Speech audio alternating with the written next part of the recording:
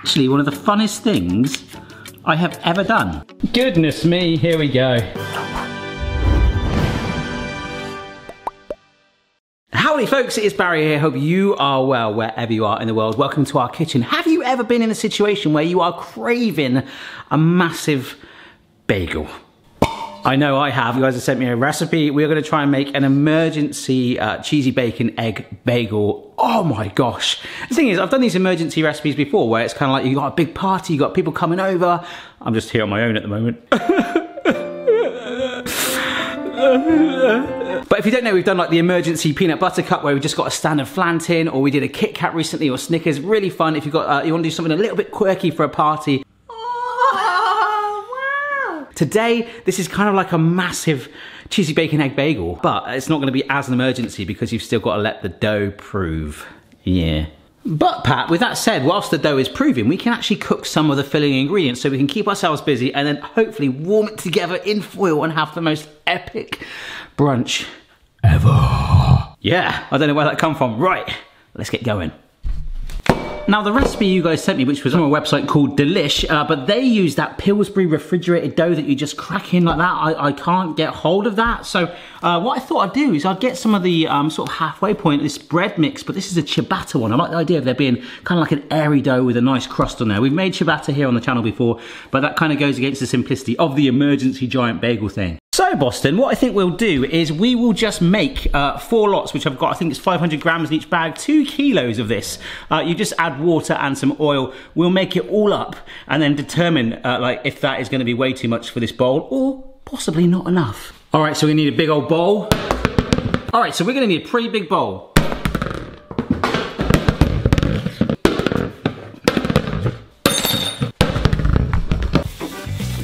One, two, three, four, hello, uh, ciabatta mixes.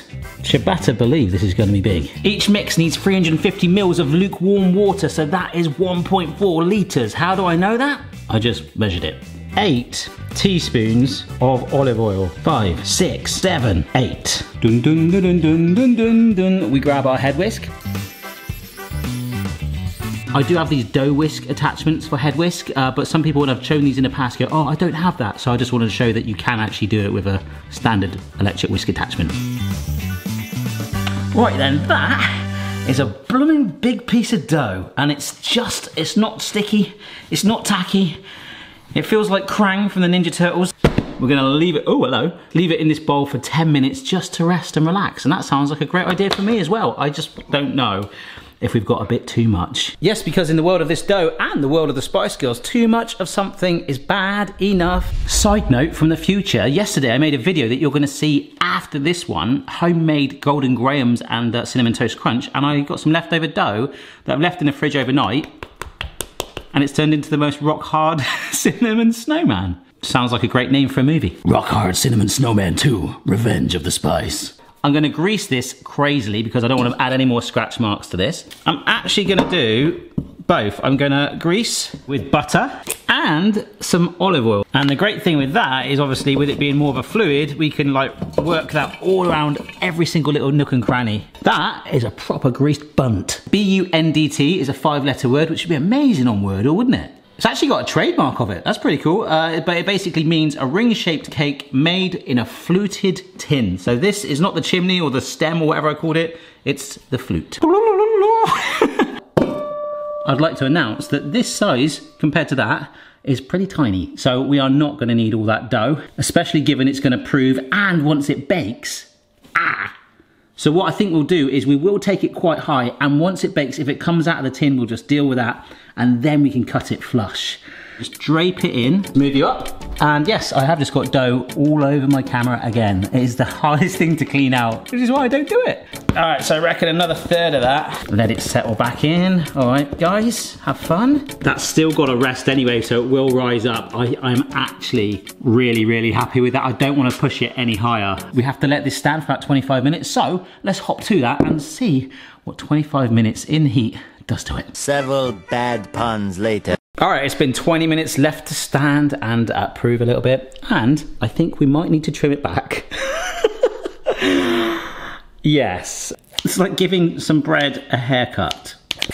Uh, and I'll see you once I finish with this client.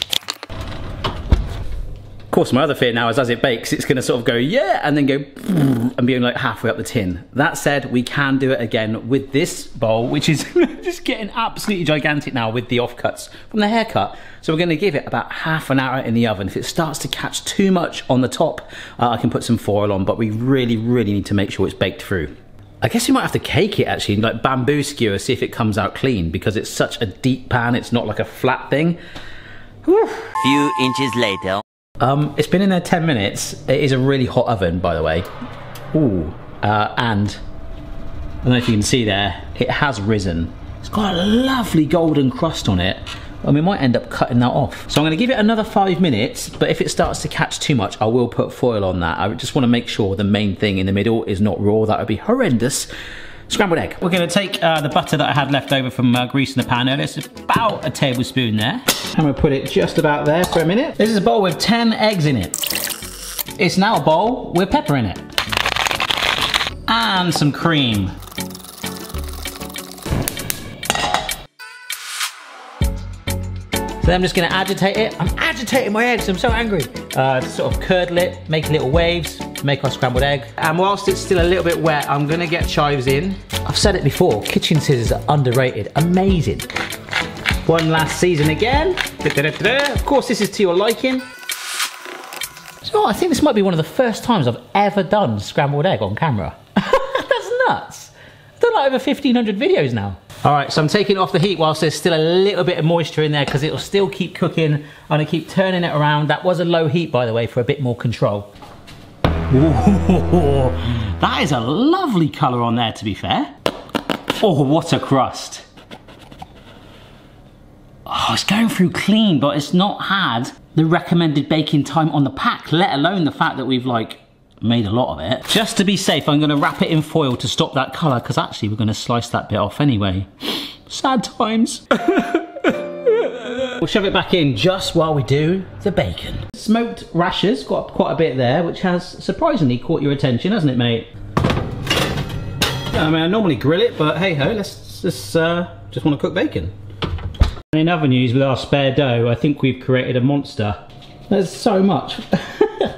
All right, so whilst our bacon bakes, let's get the bread out. Woo!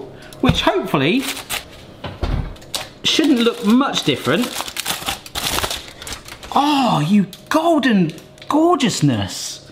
Yeah, I'm not gonna touch it at all. I'm gonna let it fully cool down and we probably will have to trim that top off to even make getting it out from the flute uh, a little bit easier. All whilst my bacon bakes. Oh, I'm well happy with that. 15 minutes in the oven. Not quite up there with putting it on bamboo skewers as you'll see in a future hacks video. Spoiler. It's time to slice off, using the flute as our level, this top crust.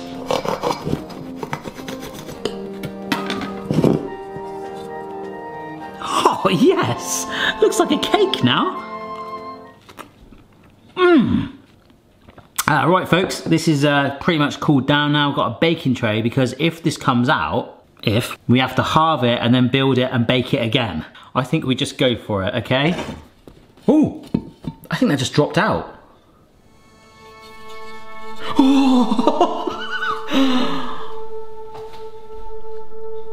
yes. Yes. That's massive. That went rather swimmingly. Hopefully, if I've done this right, we've got a base and a lid. Oh my goodness. Wow. Oh my gosh, it just fits.